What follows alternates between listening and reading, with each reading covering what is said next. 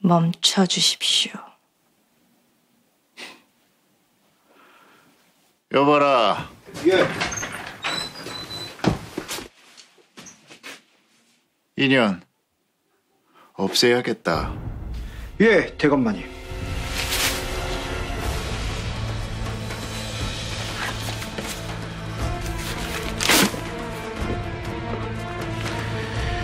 이것이 세상 어디에 있다는 생각만 해도 내 목에 가시가 걸린 것 같았는데 네 덕분에 이제야 편히 숨을 쉬겠구나.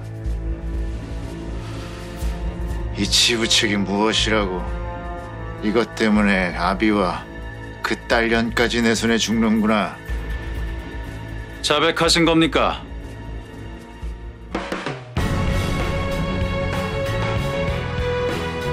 좌상 대감이 송도식 도방을 살해한 진범이라는 사실 말입니다. 그게 무슨 허튼 소린가? 증거가 있는가? 대감의 자백을 들은 증인이 여럿이 있지요.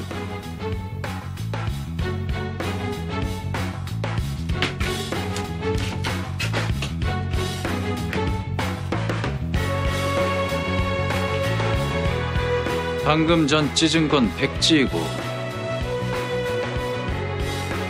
이것이 진짜입니다.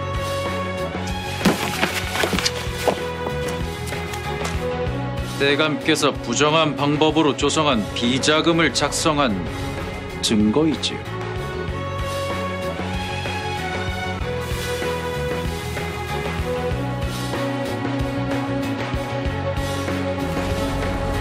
돌아가십시오. 시신이 된 자에게 더 이상 생전의 죄를 물을 수는 없어. 박도환의 죄가 그의 죽음과 함께 영원히 묻혀버리길 원하시오. 아니면 박도환이 모든 걸 빼앗기고 산채로 더할 수 없는 치욕을 겪기를 원하시오. 어느 쪽이 더 처절한 복수겠어?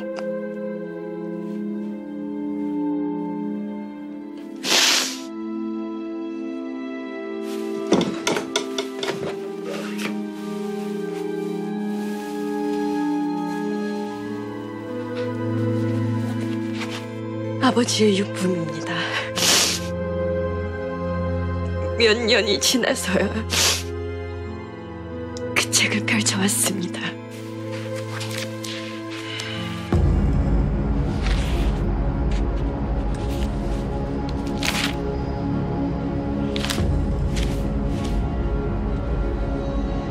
이건 치부책. 주인공은 박두환이죠.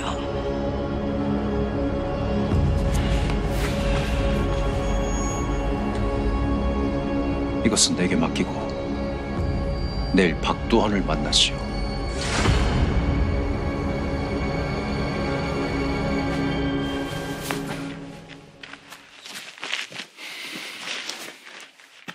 사내가 큰일을 하다 보면 더러 손에 피도 묻히고 오물도 묻히고 하는 것이네.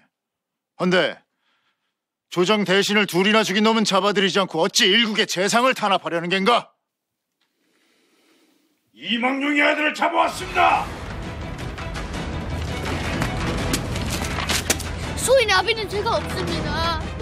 성전에 가신 거 대감마님이지 않습니까?